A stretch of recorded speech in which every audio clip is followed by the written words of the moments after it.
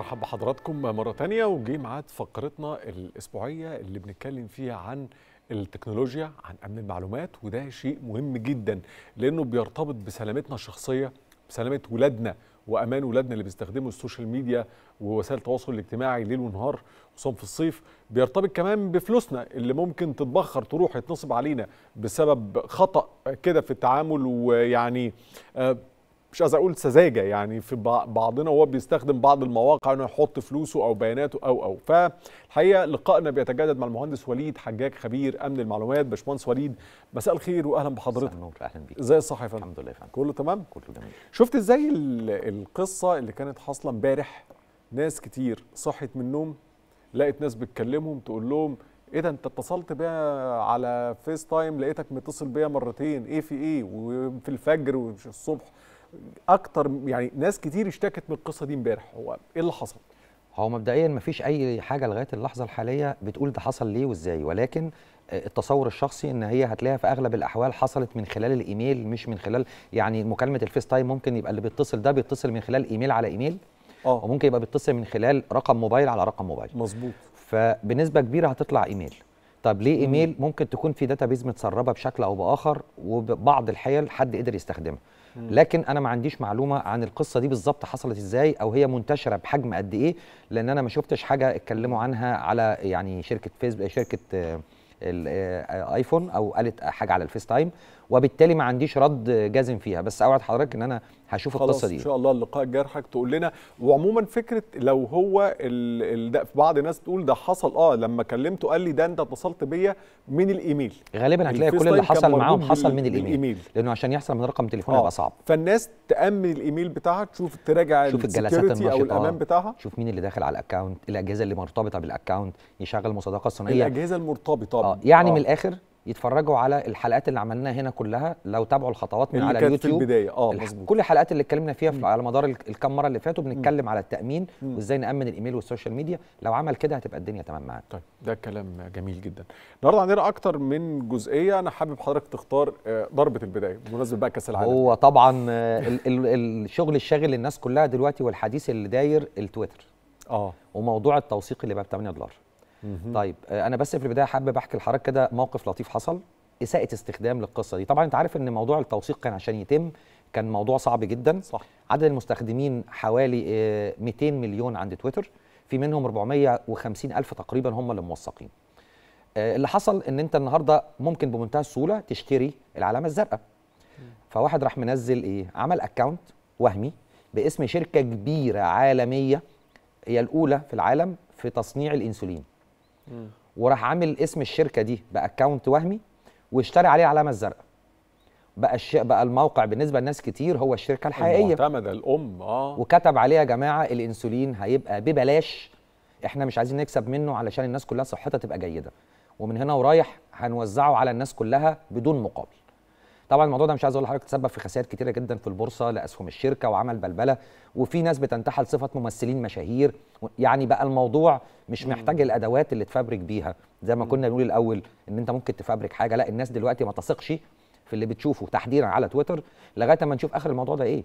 لأن في ناس كمان بتستخدم خدعة من اللي إحنا اتكلمنا عليها في الحلقة اللي فاتت على طول اللي اسمها ال twist.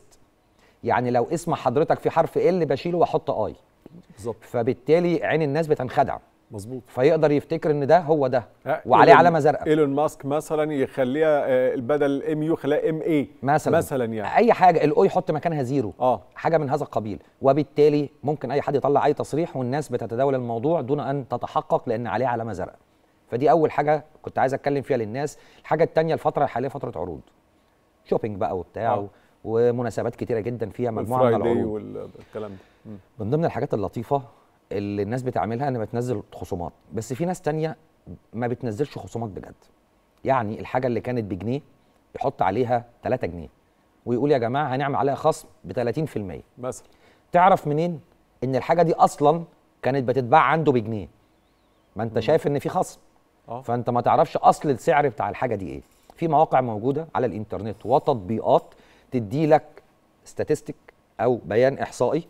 المنتج ده سعره كام؟ ارتفع إمتى وبقى بكام؟ ونزل إمتى على مدار وجود المنتج على المنصة دي. في موقع اسمه بكام. مم. آه، بكام ده تدي له أي اسم منتج. هو يدور عليه على الإنترنت على كل المواقع اللي بتبيعه ويقول لك المنتج ده فعلا الخصم اللي عليه ده والسعر اللي عليه ده حقيقي ولا مش حقيقي. في حاجة تانية اسمها صفقة. في ما في حاجات كتير في تطبيقات كتير وفي مواقع كتير ولكن أنا بقول للناس حاولوا تتأكدوا وتتبينوا من المنتجات لأن مش كل الناس بتعمل عروض حقيقية. في ناس بتعمل عروض بيبقى الحاجة عنده أصلا ثمنها 10 يروح عاملها 20 وبعدين يعمل عليها خصم أو يروح عاملها 30 وبعدين يعمل عليها خصم 50% يبقى بيع ب 15 بدل ما يبقى بيعها ب 10 مظبوط. كسب بدل ما خفض بالظبط يعني. كده. فبالتالي دي حاجة نراجعها. كويس. النقطة المهمة بقى تكملة للأحداث اللي قلناها قبل كده الفبركه زي ما حضرتك شايف كده على الشاشة بقت في مواقع كمان بتفبرك أبعد من المحادثات. يعني كنا إحنا بنقول المحادثات تتفبرك لا بص حضرتك على الشاشة ده ده موقع من المواقع اللي ممكن يخلق إيميل اللي ممكن حضرتك أعمل بيه آه، YouTube channel وهمية. يعني أعمل لحضرتك YouTube channel وأحط لك عليها أي عدد من المتابعين. زي ما حضرتك يعني أنا كنت بجهز حاجة كده ده- ده- وترفع صور وتحط أي اسمي. حاجة. آه آه وكنت هعمل 34 آه، 35 مليون follower يا سلام. وأحط صورتك والكلام ده كله ولكن إيه الوقت ما إيه؟ سعفنيش قبل ما أخش يا خبر أبيض كنت كنت هتعمل لي الصفحة دي ف... وتنزل على فدي تبقى على إنها YouTube channel وهمية. طب هل اليوتيوب بس؟ لا ده انت ممكن تفبرك حاجات كتير. بص حضرتك تفبرك إيه؟ تقدر تفبرك محادثة فيسبوك تقدر تفبرك post فيسبوك تقدر تفبرك فيديو يعني call إيه- فيسبوك. يعني إيه أفبرك محادثة يعني بتختار ال icon ده وبتدوس عليه من على الموقع يقول لك عايز تعمل المحادثه بين مين ومين تكتب الأسامي. طب حط صورة اللي انت عايز تكلمه حط صورتك. آه، عايز تكتب هو قال إيه وأنت قلت إيه. زي فكرة الفبركه اللي قلنا عليها. للواتساب يعني يعني أنا عايز آه، يعني أعمل محادثة وهمية ما بيني وما بين حضرتك المهندس وليد. فادخل على الموقع ده محادثة آه، وهمية صورة حضرتك video call واسمك وهمي و- لا و video call؟ وهمي آه يعني ت... عارف انت حضرتك ال video call بيبقى فيه صورة الشخص وجنبيه صورة واحد تاني والمايك أيوة، وبتاع أيوة. كأن بتتكلم وانت خدت screenshot من الشاشة. فتعمل video call للفيسبوك وهمي تعمل Instagram chat Instagram post Instagram profile. ويقول لك ده ده هو ده ده, ده, أنتم ده أنتم مكلمين بعض. بالظبط. تقدر وصورة. كل الحاجات اللي موجودة دي تفبرك حساب تيك توك تفبرك حساب تويتر. طبعا تويتر ما بقاش محتاج. تفبرك iPhone text messenger آه، تفبرك Android text messenger. أي نوع من أنواع الفبركة والموضوع زي ما حضرتك شفت كده بسهولة جدا صورة زي زي اللي هتشوفها على الشاشة دلوقتي بيقول لك بس ارفع لي الصورة اللي هي بتاعت الشخص ارفع آه. لي الصورة الثانية عايز تكتب إيه آه، ارفع صورة ال banner تقدر تملى البيانات اللي أنت, حاططها عايزها هنا آه، John Doe مثلا آه أنا ممكن أنا عمرو كنت. كاتب هي عمرو صورتي. خليل على الشمال بس ما. عملتلهاش apply وتقدر تعملها واحط صورة حضرتك في ال banner واعمل كل واعمل لك عدد متابعين وهمي وانشر تويتة وتبيع بده مش بس هي. المشكلة مش في كده لا هي مش في فكرة بيع فكرة النهارده ممكن حد ينزل حاجة باسمك زي ما حصل في تويتر كده وحد نزل تويتة خسرت شركة في البورصة حوالي 134 مليون دولار.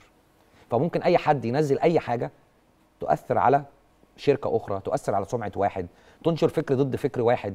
الكلام ده بقى سهل جدا وبيتعمل بأدوات كتيرة والمواقع دي لا محتاجة تسجيل ولا محتاجة إيميل ولا محتاجة أي مجهود. حضرتك بتفتح وبتختار. بس ده ده ده ده شيء آه، يخرب بيوت. آه. إن حد يدخل يفبرك محادثة ما بين طرفين ده رقمه ده لا، وغير كده، ده أنا- ده أنا بفبرك كمان video call. جاي ويحط أي كلام. أفبرك account إنه verified أفبرك أي حاجة.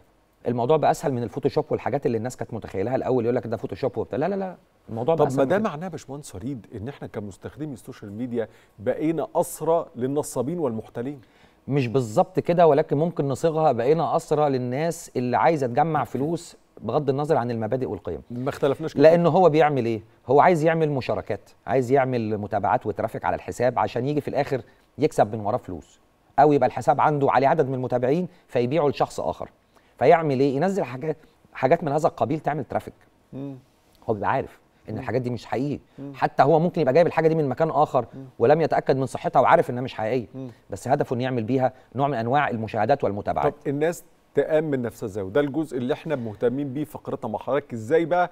أنا ما نثقش لأن المواضيع دي بقى صعب. نفسي يعني. الموضوع بقى بص حضرتك ده الحاجات اللي الحاجات اللي موجودة على. الإنترنت بنسبة هنقول 80% حد أدنى ممكن تبقى غير حقيقية. حد أدنى. حد ادى 80% آه 20% أخبار ممكن تبقى حقيقية. لأن في نقطة حضرتك لا متأكد الحساب ده مين اللي بيديره؟ ولا هو حساب موثق ولا مش موثق ويتبع الجهة اللي موثق ليها؟ كنا- عارضين صفحات وجروبات لناس بتبيع عملات مزيفة آه وحتى أنا بقول شفتها؟ كاتب كده اسمه مش فاكر مصطفى صفحه مز... إيه إيه كده صفحات مصطفى مصطفى عملات أبو زيد. مزورة أو حاجة أيوه. وكاتب فلوس مصطفى مزورة زيد. ال... العنوان كان اسمه فلوس مزورة مظبوط. هو الراجل واضح اسمه. وصريح مع نفسه عنده يعني شفافية مع نفسه وطبعا كل كل كل ده مضروب أيوة. الأسماء دي كلها وهمية أيوه مفيش حد اسمه كده على فكرة في كتير قوي ويمكن الفيسبوك ده اقلهم في مواقع تانية عليها حاجات كتيرة جدا آه، يعني أكثر فجاجة من قصة الفلوس المزورة أنا مش هينفع أقول الكلام ده على الهوا ولكن ينفع اقوله لحضرتك بعد الهوا. في حاجات أكتر من كده بكتير قوي قوي قوي. تمس الاخلاق وتمس الدين والعادات والتقاليد موجودة وللأسف منتشرة على ما بين مواقع التواصل الاجتماعي ما بين تليجرام ما بين حاجات تانية كتير موجود عليه وأي حد يقدر يخش ويتابع ويشوف أنا مش بقول حاجة سر يعني. ولكن أنا يعني اللي أنا بقوله الموضوع وصل لمرحلة إن الوعي بقى دور مهم ولازم دور حضرتك ودوري ودور الناس كلها إن إحنا نوعي الناس بخطورة اللي بيحصل. صح. ناس كتير بتقول له حضرتك أنا بلاها بلاها social media لا. مش عايز إيميل مش لا، عايز واتساب. هستغنى عنهم وارجع للموبايل القديم ده بص يا فندم يعني. ال- البعد عن التكنولوجيا مش حل. حضرتك هتبقى في جزر منعزلة. يجب إن أنت تتعامل مع كل المتغيرات وتاخد منها المفيد. ما هو الدش كان زمان. الناس تقول لك لا لا الدش بيجيب حاجات مش. كويسة. مم. حرام. بس في حاجات مفيدة. فناخد المفيد. مفيش حاجة ملهاش وجه كويس ووجه وحش. أكيد. الحاجة بقى اللي كل الناس بتسأل عليها أنا عايز أشتغل في العملات الرقمية. يعني إيه عملات رقمية؟ وأكسب منها إزاي؟ وإيه موضوع التعدين؟ وهي بتكسب قوي كده مبدئيا العملات الرقمية زي ما حضرتك شايف كده على الشاشة دي ظهرت 2009 أشهرهم عملة البيتكوين. صحيح. العملات الرقمية دي بتبقى عملات آه، ملهاش تواجد مادي ملموس يعني مش ورق فلوس. ما فيش قصادها ذهب ما فيش قصادها نقد موجود في البنوك ولا بنك مركزي بيتحكم فيها. بخلاف إنها بتصدر بصورة غير مركزية من خلال معادلات رياضية. يعني هي في الآخر عبارة عن file موجود عندك على الكمبيوتر أو على التليفون مش فلوس ممسوكة. طيب إذا كان الموضوع كده وما بتخضعش لأي سلطة بنكية وحكومية الناس بتكسب منها إزاي؟ وفكرتها إيه؟ وبتعمل إيه؟ قال لك إن في 21000 نوع من أنواع العملات الرقمية أشهرهم البيتكوين. آه. طبعا. في حاجات منهم stable يعني ماسكة نفسها وفي حاجات بتنهار وفي على فكرة من ثلاث أو أربع أيام من أربع أيام بالظبط. ثالث بورصة عالمية في سوق العملات الرقمية ضربت تفليسة والناس خسرت مليارات الدولارات. مليارات العملات ولا مل- مليارات الدولارات. ما هو دولارات دي المقابل ليها دولار. مشتري آه. ما هو مشتري فحاطط حاجات وبيشتري وبيبيع. فكل ده ضرب البورصة البورصة دي أعلنت. أعلنت إفلاسها. أعلنت إفلاسها. لأسباب كتيرة يعني مش هنخوض في تفاصيلها ولكن هي القصة كلها إن أنت في الآخر حضرتك هي مش عملة ممسوكة هي ملفات موجودة. غير السرقات اللي بتتم على الإنترنت للمحافظ الإلكترونية اللي عليها عملات رقمية.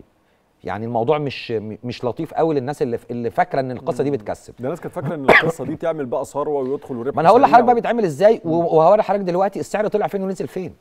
بيقول لحضرتك إن العملات المشفرة دي آه، سوق ال- الاقتصاد بتاعها بيصل لمئات المليارات من الدولارات. وفي نفس الوقت في حاجة مهمة جدا في العملات ال- المشفرة. الناس كتير ممكن تكون مش عارفة دي بتعمل إيه بالظبط. آه، أول حاجة هي لا مركزية. تاني حاجة ما حدش بيتحكم فيها ولا بيتحكم في سعرها هي عرض وطلب. أكيد.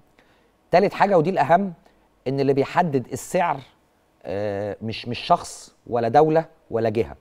هي مش الفدرالي الأمريكي زي الدولار كده. لا خالص خالص.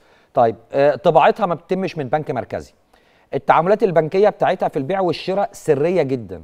وما تعرفش مين بعت لمين وبعت كام علشان إيه.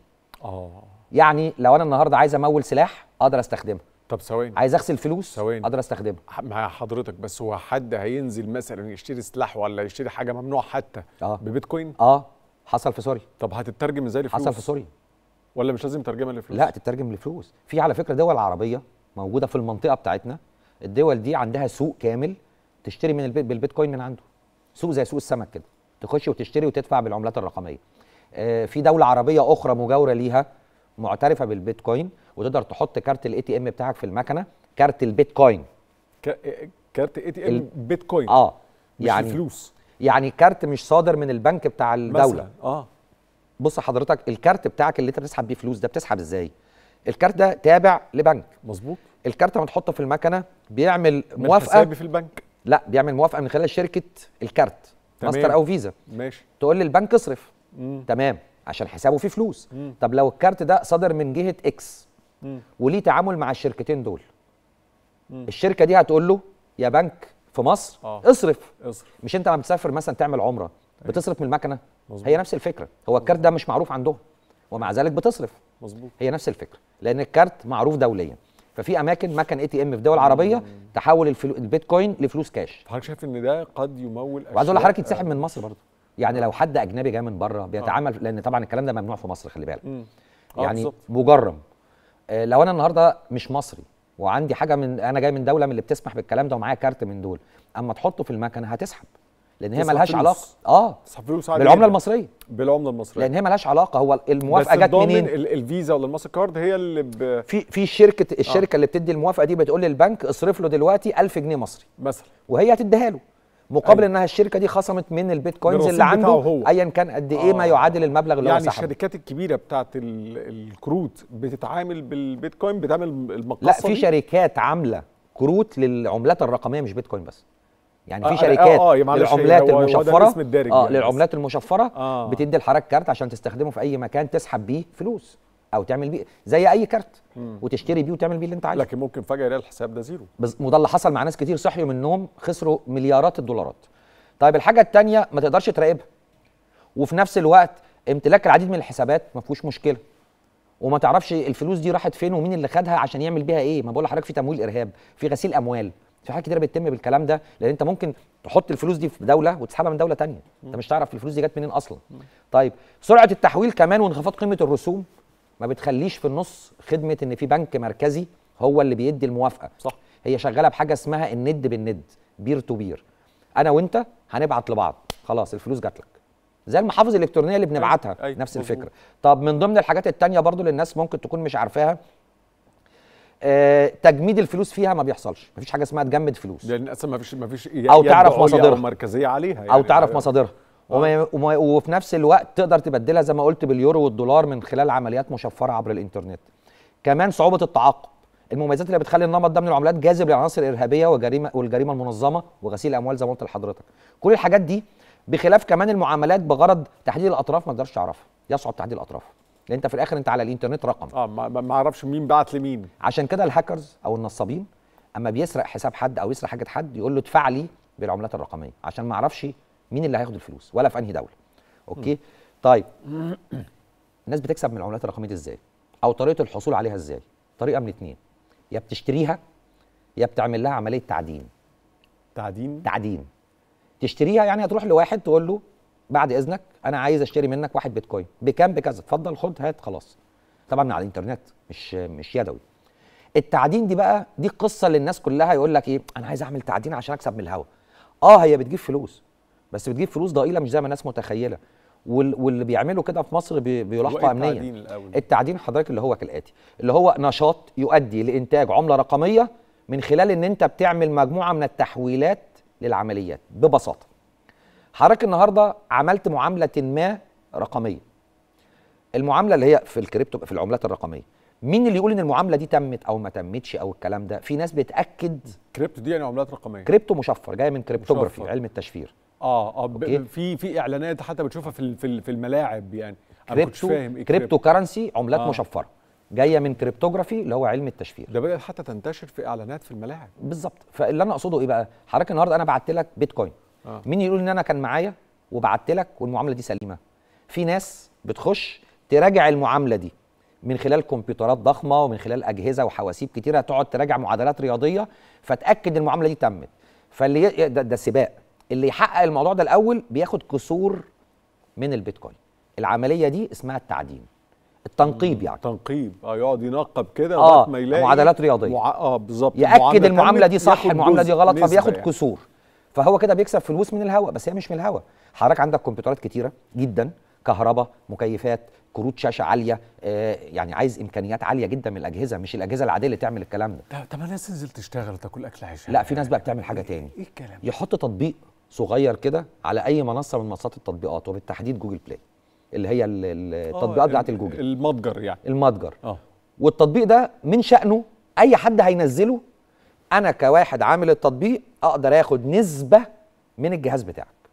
بمعنى ال processor بتاعك أو المعالج لو قلنا إن هو سرعته 100 وحدة أنا هاخد 5% منه ومن الذاكرة 5% ومن البطارية 5% ومن الإنترنت 5% ليه؟ من كل واحد هينزل التطبيق اللي أنا حطيته على المتجر. ليه؟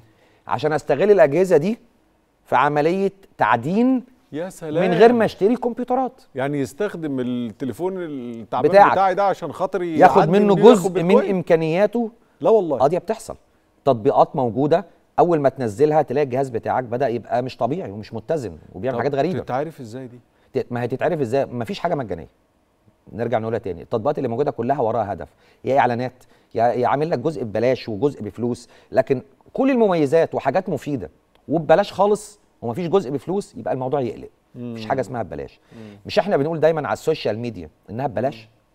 طب أمال تويتر؟ ليه طلع اعلن ناس منزلة حاجات تطبيقات ببلاش. آه. وزي الفل وشغالة و... دي بتبقى خدمات. بتبقى الشركة عاملة جزء من الخدمات صغير مجاني وبقية الخدمات المميزة بفلوس. فأنت بتستخدم ده كنوع من أنواع الدعاية. إعلان مثلا ظاهر لك أو إعلان. ماشي ما هو بيكسب من الإعلان الاعلان ده بيظهر لك وبيكسب مفيش مشكلة. إنما ما يستغلش تليفوني عشان لا، يستغل. يعدم بيه في البيتكوين. آه يعدل بيه لأن هو بدل ما اشتري آه، كمبيوترات كبيرة جدا وأكلف فلوس. التطبيق هيكلفني مبلغ بسيط ومليون واحد هينزله لأن هو عليه إقبال هنعمل حاجة عليه إقبال وأقدر أستخدمه. فده الفكرة بتاعه العملات الرقمية والتعدين. طيب في حاجة تانية مهمة جدا. بص دي الأول أنا عايز أوري لحضرتك العملات الرقمية كانت عاملة إزاي وحصل فيها إيه. حضرتك شايف ال- الماوس واقفة فين؟ في تمام. الوقت الوقت ده تحديدا ده كان بتاريخ آه، 11 11 2021 أعلى سعر للبيتكوين الواحد كان 64900 يعني حوالي 65000 دولار. من سنة. ال- البيتكوين الواحد؟ البيتكوين الواحد. 65000 دولار؟ دولار. ده البيتكوين الواحد ده أعلى سعر ليه. مفيش فك البيتكوين طيب؟ فيه في كسور ما أنت التعدين ده ما بيديكش 65000 دولار. تمام ولكن شاف حضرتك من 11 11 21 إحنا دلوقتي في شهر 11 11 11 22 مثلا. بقى سعره 16000 من أربعة وس- ده كان ده نزل الربع. 65000 تقريبا لكام؟ نزل الربع ل 16 من 16 65000 دولار ل 16000 دولار؟ بالظبط. ده ده مين اللي بيحكمه؟ بيسموها قط- قطمة وسط دي. آه ما شاف حضرتك ال curve نازل إزاي مرة واحدة؟ القصة في إيه؟ إن أنت مش أنت بتحط فلوسك في الهواء وفي الآخر هي ملف. طب يا جماعة خدوا بالكم. يعني فموضوع العملات الرقمية والناس اللي بتشتغل فيها دي مش حاجة لطيفة خالص. طبعا. العملات الرقمية بقى بتعتمد على تكنولوجيا دي بقى اللي مفيدة. آه. ودي اللي الدول كلها بتسعى إن هي تعملها اسمها البلوك تشين. آه أسمع عن البلوك تشين. دي بقى مهمة جدا وفيها مميزات البلوك تشين غير طبيعية. بص حضرتك هي بالعربي اسمها سلسلة الكتل. يعني عبارة عن كتلة ويتحط وراها كتلة تانية ويتربطوا ببعض بحيث يكونوا سلسلة متصلة ببعضها لا يمكن الحذف أو التعديل لكن يمكن الإضافة. مم. بمعنى بيانات حضرتك النهارده ببساطة كده مين اللي يقول إن حضرتك العربية بتاعتك باسمك؟ مين اللي يقول إن شقتك باسمك؟ شهر جهاز العقاري. التوثيق. آه بالظبط شهر العقاري. طب لو الورق ضاع من الشهر العقاري؟ مفيش. مش حصل قبل كده في المرور زمان قال لك تعالى معلش اعمل ورق من تاني بعد 2011 عشان ما فيش ورق؟ مم. طيب. لو أنا النهارده جبت ال 100 مليون مواطن اللي في مصر شهدوا ووقعوا على العربية اللي حضرتك بتشتريها أو الشقة اللي أنت بتشتريها. لو 50% ما بقوش موجودين مش في 50% تانيين يقولوا إن دي بتاعتك؟ أكيد. هو ده بالظبط. فكرة شهر عقاري لا مركزي موجود في الكوكب. الشبكة بتاعة البلوك تشين دي أي عضو فيها شاهد على أي عملية توثيق حصلت عليها. شاهد ما شافش حاجة. أيوه والله كده شاهد ما شافش حاجة. يعني حضرتك إيه؟ النهارده جيت بعت لي عربية من على تمام. البلوك تشين. أنا من خلال البلوك تشين دي كل الناس اللي مشتركة في الشبكة بيقولوا إن أستاذ عمرو باع لوليد عربية. بيأمنوا من غير ما يعرفوا يعني؟ لا ما هي ما هي فكرة البلوك تشين دي إيه؟ إن النهارده في عملية هي هتتم. فالعملية دي لما تيجي تتم بتكون كتلة. في ناس بتراجع المعاملة دي والكتلة دي سليمة ولا لأ؟ نفس السباق بتاع الايه؟ البيتكوين اللي إحنا قلناه من آه، شوية. آه. المعاملة سليمة تقوم تتحط مع اخواتها في السلسلة. امم بحيث إن هي آخر السلسلة يعني block و block. ال block ده فرضا إنه بيبدأ بحرف A ويبدأ بحرف وينتهي بحرف B. امم اللي وراه يبدأ بحرف B وينتهي بحرف C. تمام. اللي وراه C ودي وبالتالي ما ينفعش تشيل block من النص. ليه؟ بالظبط. لأن هو في حاجة اسمها مفتاح تشفير أو يعني. hash يقول إن دي ورا دي ورا دي ورا دي صح. فمحدش يقدر يعدل صح. أو يحذف فيها لكن تقدر تضيف إن العربية بعد كده اتباعت لواحد تاني كويس والواحد تالت ليها بقى استخدامات كتيرة جدا آه الحقيقة كان يعني أنا من خلال كلام حضرتك يا باشمهندس وليد هو الواحد لازم نبقى كلنا بص حضرتك خريجين الصورة اللي بعرضها لحضرتك دي يعني. لا لا الصورة اللي بعرضها لحضرتك دي هتوري لحضرتك. دلوقتي فكرة المعاملة بتتم إزاي نمرة واحد معاملة بتتم بتكون block ال block يتبعت لكل أعضاء الشبكة كل أعضاء الشبكة يتسابقوا في السباق عشان يقولوا العملية دي صح ولا ولا غلط اللي هي آه. نمرة أربعة أيوة. قالوا إن هي صح تقوم تتربط في اللي وراها والسلسلة دي موجودة ده على أنت لو سمعت مميزاتها زي ما حضرتك شايف كده هتلاقي كل واحدة بتنتهي برقم الرقم ده اللي بتنتهي بيه بيبدأ بيه اللي بعدها تمام. يعني هتلاقي في حاجة اسمها الهاش اللي عليها دوائر خضراء ودوائر زرقاء آه. كل واحد بينتهي باللي, باللي بعده طب مميزاتها إيه آه. أول حاجة أبسط حاجة في الموضوع يعني أنا بشتري عربيتك وأنت لاعب في العداد مقلل الكيلومتر. لو هي مربوطة بالبلوك تشين يعني تكنولوجيا أنا هبقى عارف إن العربية دي مشيت كيلومترات كذا فمش هتعرف تلعب في العداد. لو عليك حكم قضائي مش هينفع تزور. طيب آه، بلد المنشأ حضرتك بتبيع لي تليفون وبتقول لي التليفون ده أصلي وهو صيني. هيبقى معروف بلد المنشأ من خلال البلوك تشين. يعني ده بيكشف أي حاجة. كل بص بقى أي حضرتك عمليات بيع أو هقول شراء لحضرتك أمثلة بقى متعددة. الكيلومترات على فكرة في شركة في ألمانيا وسويسرا بتعمل الكلام ده. طب أنا قدامي دقيقة. تمام. معلش. الملكية الفكرية والمصنفات مين آه. يملك إيه؟ آه. محدش يقدر يعدل. آه. براءات الاختراع الأحكام القضائية التصويت الانتخابي عايزين ينفذوه. وفي شركة في سويسرا بتحاول تعمل الكلام ده بس اللي موقفها إزاي تتعرف على هوية الناخبين دون اختراق الخصوصية وتسمح بالتصويت من أي موبايل أو كمبيوتر من غير ما يحصل برامج خبيثة أو هجمات. آه، بخلاف كده كمان حضرتك ممكن تتبع مصادر الأكل. الأكل ده مصدره فين؟ الأجهزة والبضاعة من المنشأ والسعر والتكلفة والضرائب الحكومة تاخد ضرائبها لأن عارفة سعر التكلفة وسعر البيع. بالظبط.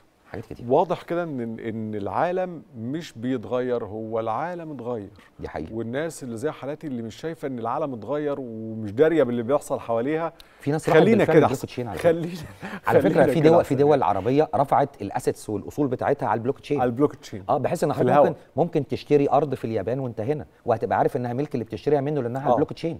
مش هينفع اضحك عليك. يبقى العالم كله أصبح شهر عقاري في البلوك تشين. يعني آه حاجة, كده حاجة كده آه. يعني يدخل كله شهود على العمليات اللي بتتم أي حاجة وهو واثق إن هي وتبقى 100% عارف. تاريخها. وعارف تاريخها والتسلسل بتاعها ورقها يعني. بالظبط كده.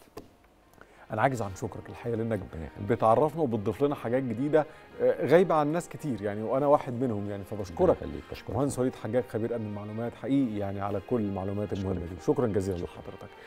مشاهدينا أنا بشكر حضراتكم شكرا جزيلا لحسن المتابعة ونشوفكم بكرة إن شاء الله على كل خير. تصبحوا على خير. Música